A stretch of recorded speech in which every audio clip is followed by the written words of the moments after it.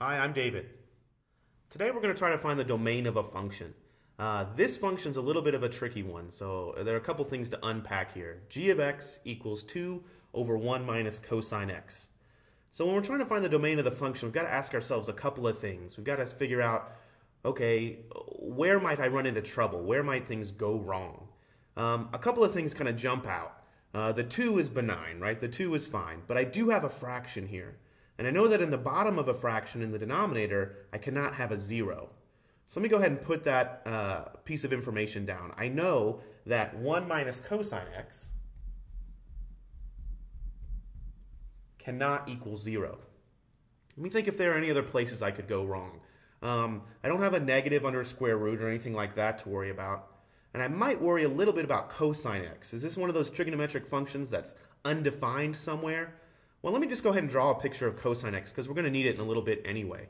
Um, here's what cosine x looks like. I'll draw a really big axis. Um, cosine x repeat, repeats itself every 2 pi, so I'll do increments of pi here. Pi, 2 pi, 3 pi. It goes forever to the right and forever to the left. Negative pi, negative 2 pi. And it oscillates between 1 and negative 1.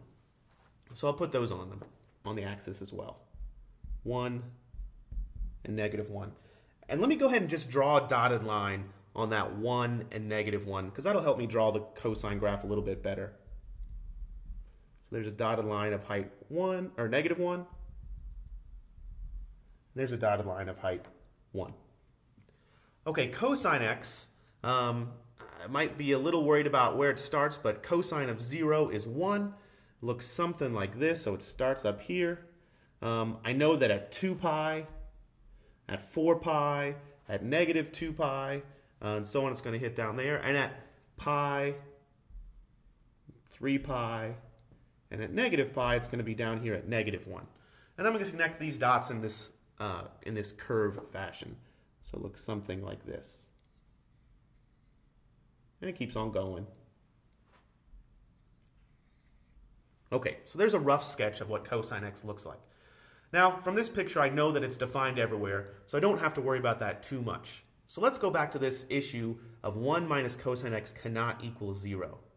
Um, well, this is a picture of y equals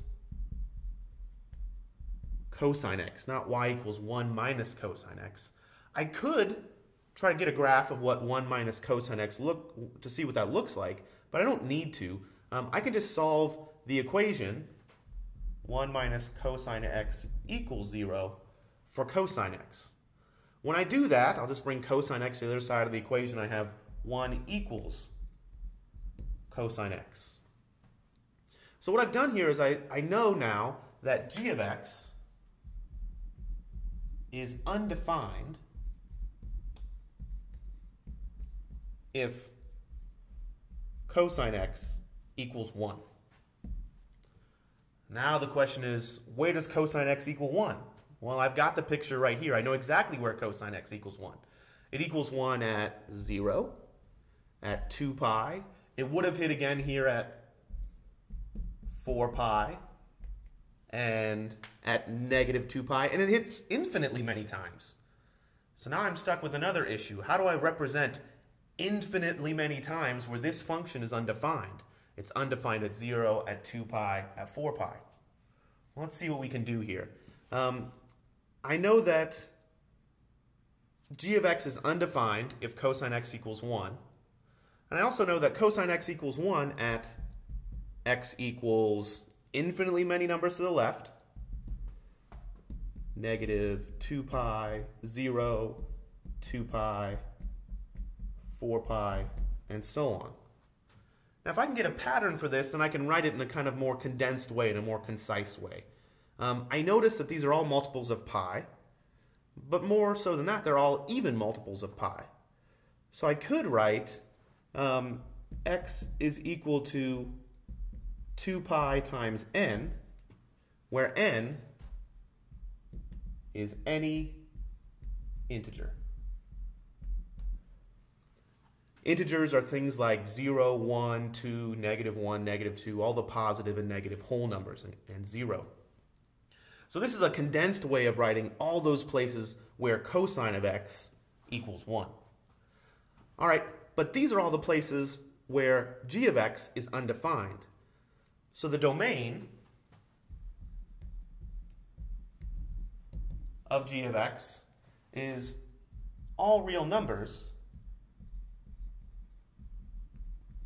except, so where x does not equal 2 pi times n for any integer n. Now this is sometimes a tricky thing to, uh, to write out, especially when there are infinitely, infinitely many places where this function is undefined. But this is a good way, when you have one of these trigonometric functions that repeats itself over and over again, to write the domain all real numbers except for the places where x equals a multiple of 2 pi. Thank you.